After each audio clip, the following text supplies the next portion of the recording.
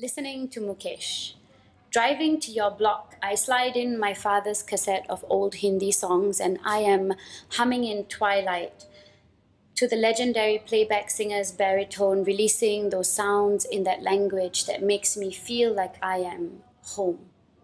In the back of my throat, I can taste my grandmother's translucent thin chapatis that as children we would hold up to the light.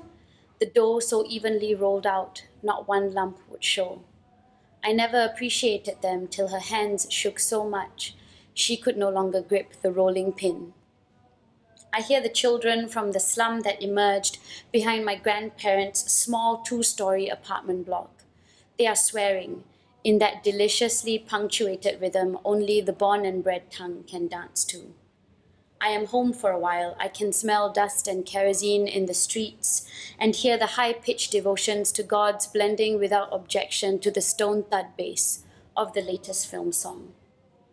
Jamming my brakes at a traffic light, I realize home is supposed to be these dustless streets, and the smells are alien culinary concoctions that my migrant taste buds cannot migrate towards. I have taught my tongue to like the garlic sting of Hainanese chili paste and form some Hokkien curse words, it even enjoys the harsh bite of it. But it is not a taste, a language that makes my heart sing like these notes on my car stereo. Jao kaha bataye dil, dunya badi hai sang dil. Chandni aaye ghar jalane, suje na koi manzil. Tell me where I should go in a world filled with indifference. The moonlight filters into my house, but I do not belong neither can I think of a destination.